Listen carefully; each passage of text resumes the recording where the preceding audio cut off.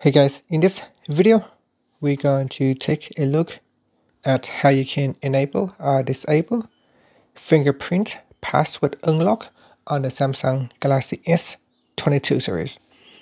First tap on the home button to go back to the home screen. Then swipe down at the top and tap on the settings icon. In settings, go down and tap on biometrics and security then tap on fingerprints. Now put in the current screen pin. Next, you want to go down and tap on fingerprint unlock toggle button to switch it off or on.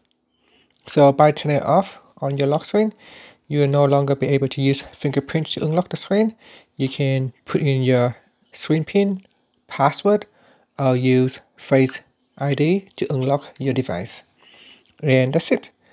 And uh, finally you can tap on the home button to go back to the home screen. Thank you for watching this video. Please subscribe to my channel for more videos